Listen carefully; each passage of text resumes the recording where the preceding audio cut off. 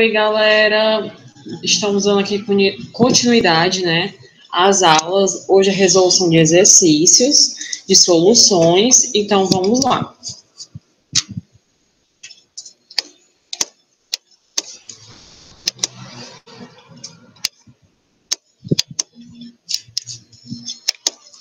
A gente introduziu soluções e próxima aula, né, a gente vai entrar com alguns cálculos também. O que é uma solução química, né? As soluções estudadas em química são, são misturas homogêneas que apresentam uma única fase de duas ou mais substâncias, sendo substâncias que dissolvem é chamada de soluto e a outra é chamada de solvente. Por exemplo, misturamos uma pequena quantidade de sal e água. O soluto será o sal, cloreto de sódio, NaCl, e a água será o solvente. Então, a gente sabe que a solução, a, a, é, a, solução química é uma mistura homogênea, né, de uma única fase, e a gente, é, o exemplo é água e açúcar, né, ali no açúcar, ele dissolvido, é, o, o açúcar que está menor em quantidade é o soluto, e o que dissolve é o solvente, isso é uma solução química. Misturamos, para a segunda questão, misturamos, a mistura que apresenta íons formados a partir do processo de ionização ou dissociação é classificada em solução concentrada, solução insaturada, solução eletrolítica, solução não eletrolítica, solução saturada. A gente está falando sobre íons.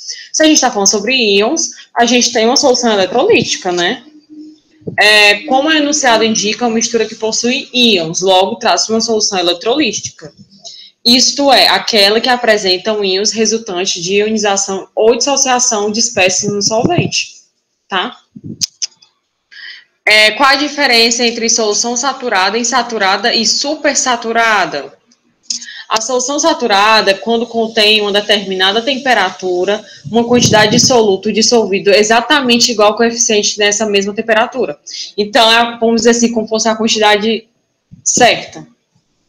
A insaturada é quando contém uma determinada, uma determinada temperatura, a quantidade inferior de soluto ao coeficiente a essa temperatura. Então, de soluto tem inferior. Na saturada, né?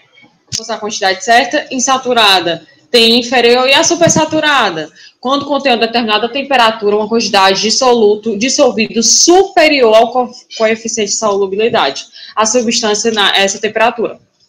Gente, um exemplo de supersaturada é se você pegar um copo d'água e, e, e colocar muito açúcar. Tem uma hora que ela não consegue mais dissolver aquele açúcar.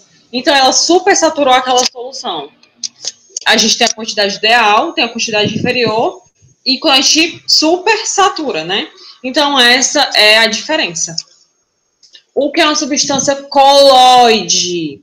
Quando adicionamos o soluto em um solvente, damos origem a três tipos de sistemas: soluções, suspensões e coloides. Em um sistema, quando as partículas são muito pequenas, não podemos ser vistas a olho nu, dizemos que a solução coloide, coloidal é coloide. Então, Substâncias colóides são aquelas que a olho nu ela é homogênea, mas a microscópio ela é heterogênea. Um exemplo disso é o sangue, a maionese, a cola, a espuma, tá? Definindo solução colóide, a solução em partículas dispersas. Tem um tamanho de comprimento de 1 a 100 nanômetros, denominados de partículas colóides. Considere o sistema apresentado a seguir: creme de leite, maionese, óleo de soja, gasolina, poliestireno expandido. Destes são classificados como sistemas coloidais. Quais são? Creme de leite, né? Maionese e poliestireno. Por quê? Porque a olho nu é homogêneo, mas a microscópio ele é heterogêneo. Outros sistemas podem ser classificados como soluções homogêneas, por não possuírem partículas de suspensão.